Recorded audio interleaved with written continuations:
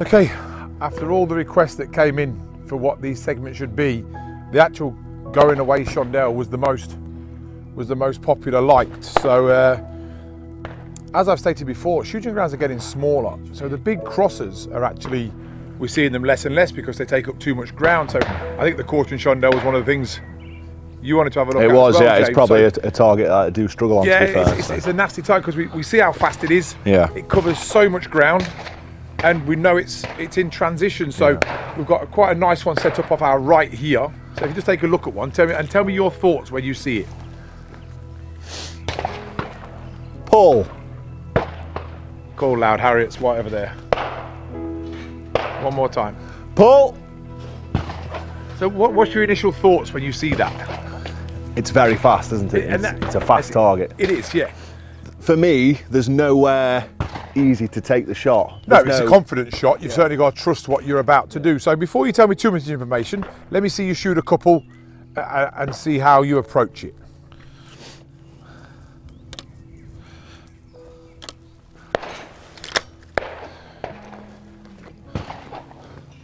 Paul.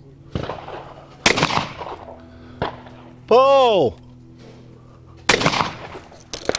Good. So, what, what was your thought process? How did you approach that shot? Well, I uh, I chose my kill point as just just as it got to the top of its flight path. So um, that was obviously my kill point. The viewpoint, I can see it coming out of the trap. So uh, the whole point was was 50% in between the two. And I can see why you'd struggle with them. Some days you hit them, some days you don't. Because what actually happened was you come back along the flight path as if it was flying on a very flat trajectory. Okay. So when you took the shot, you move like this Yeah. straight across the top. So what I want you to do is actually, we know that bird's going to rise. It's not flying a huge arc, and I'd hesitate to guess that that's probably coming from a tower. Yeah. I can tell by the trajectory of it that it's certainly not coming off the floor. Yeah, there it is. There's a tower around the corner. So it's not on a huge angle. So what I want you to actually do is match the gun to the trajectory. And what you're doing is just going straight like, like everybody does. So if you just mount the gun towards me, I know it's empty. So what you're trying to do is as it arcs, you swing straight. Okay. So when our timing's good, we hit it. When our timing's wrong, we can be in front, behind, miles offline. So what I want you to do is actually, if you imagine the arc Yeah. that it's flying, we're going to cut the corner.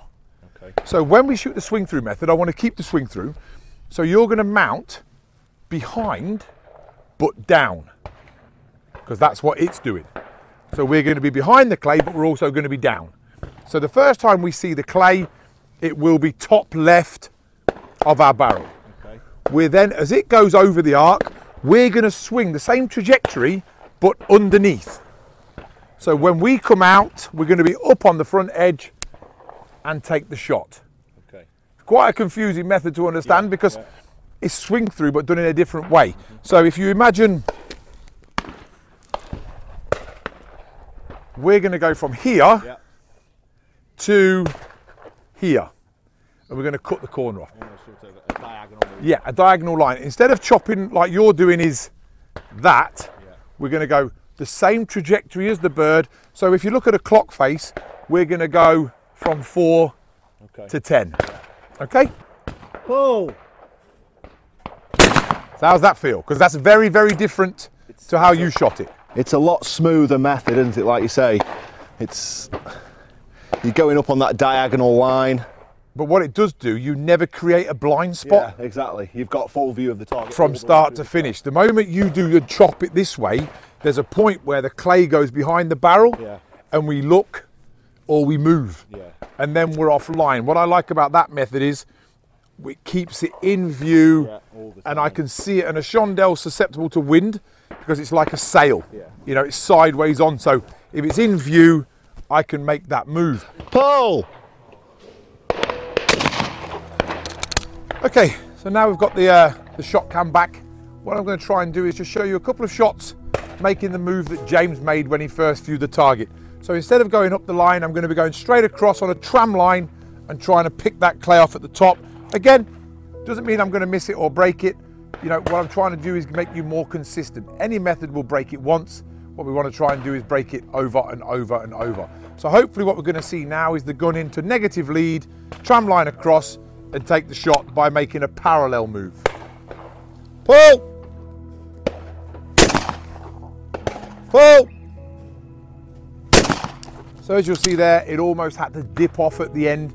The gun moved straight across, again making my window of opportunity to break it very, very shallow. I'm going to try and extend that window of opportunity now by coming in at, uh, at four o'clock, cutting off the angle. Now, don't cut off the angle by, it's not feet. You're still staying attached to the clay. I'm just going to gradually come up on the line. It's not down here.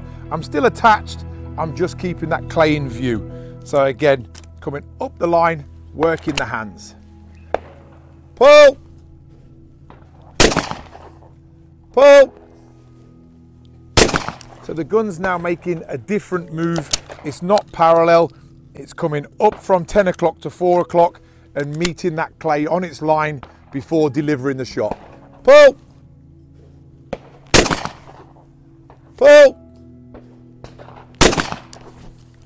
And hopefully on there you'll see that new move. Some of you might be using it, some of you may not. We're just trying to give you as many tips as we can just to try and make you that little bit more consistent.